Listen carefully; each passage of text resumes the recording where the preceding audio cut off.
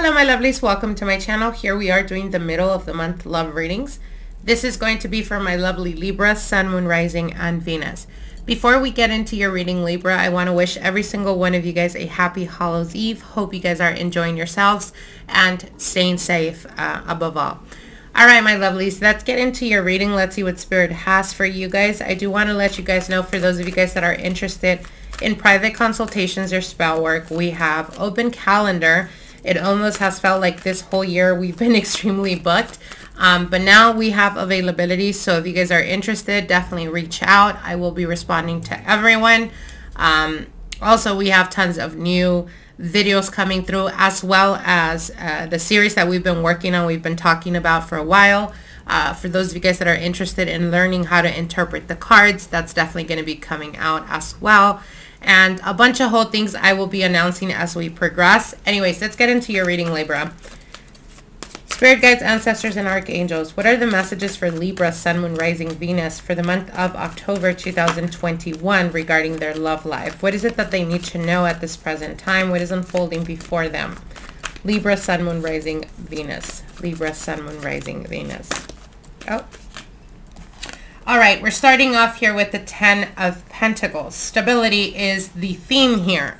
This is you guys really trying to I feel like a lot of you guys are currently experiencing like the testing of people's loyalty to you. Um, and this could be through not necessarily, you know, putting them through obstacles, but just being very attentive of the way people express themselves in conversation.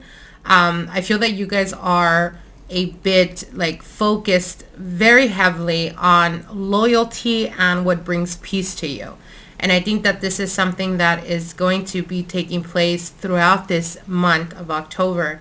Um, but more so, what they're showing me here is Spirit is saying that they will be revealing to you, Libra, those that are around you that want or have the best interest at heart for you and those that like to portray themselves as if they care for you.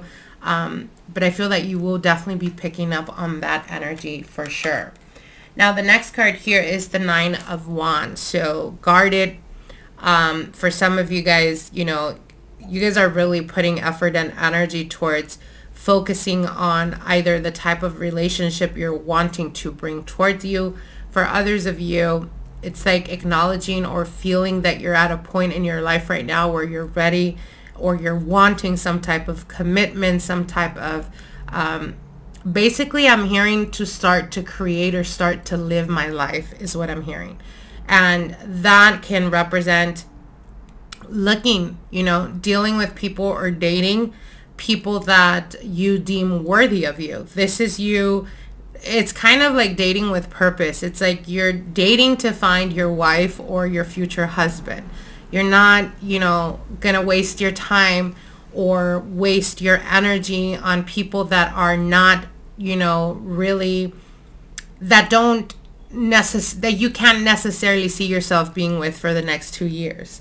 Um, so I feel that for a lot of you guys, especially those of you guys that are single, I feel like you're you you're taking a back seat. You're not really wanting to uh, meddle with those that are you know in the fast lane. I feel like you're more taking the the back seat, um, just pretty much scoping those that are best or that you can actually see yourself dating.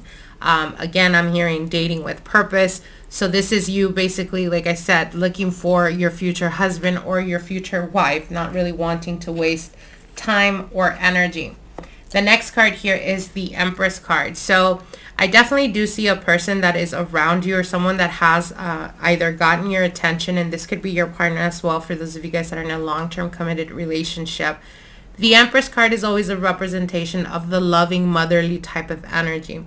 And I feel that for a lot of you guys, this is in retrospect what you're desiring at this point in your life. You know, the, the, the, the woman that you can see yourself having children with or the man that you see yourself having uh, children with and more than anything to construct and to start building a life of your own with them. And that's the type of energy that I'm definitely sensing and that I'm definitely feeling. With the Empress card, this is a representation of your alignment, Libra. This is the Venus card. This is a representation of Venus and that of seeking or being ready to fully embrace love, authentic love, that connection, that person that is right for you, that person that you're willing to open up with the Queen of Cups, that you're not scared to open up because you're not having to worry, you know, about showing your vulnerability because you don't want to be taken for granted or taken advantage of. I see you guys have gone through this cycle where now you're much more open. And the reason why you're open is because you know exactly what it is that you want. The chariot, you're going towards your goals and aspirations and you're ready. You're ready for a higher type of commitment or you're ready for some type of long-term relationship and you're ready to fully embrace this. The next card here is the death card. So for those of you guys that are single, I definitely do see the conclusion of singlehood. For some of you guys, you may be dealing with an earth sign, Taurus, Capricorn, Virgo. For others of you, you may be dealing with water energy, Pisces, Cancer, Scorpio, as I do see uh, Pisces, Cancer, and Scorpio here. Um, they're also telling me here that there is a transformative type of energy where at some point for some of you guys, you could have felt like, you know, maybe marriage or maybe commitment wasn't something that you were ready for. And all of a sudden, this retrograde, right? We've had all these planets in retrograde, Saturn, uh, just recently went direct and we have Mercury going direct on the 18th.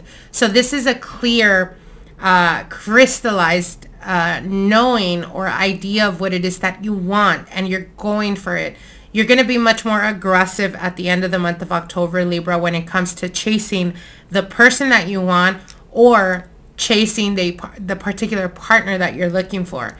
And that's quickly going to be the energy is going to be very receptive, meaning that there is a person that's coming towards you that is going to meet all this criteria or all these uh, hopes and desires that you've been hoping or wanting to find in a partner. So very beautiful reading, Libra. I want to wish you guys the very best. Don't forget to like and subscribe, and I will see you guys soon. Till then, bye.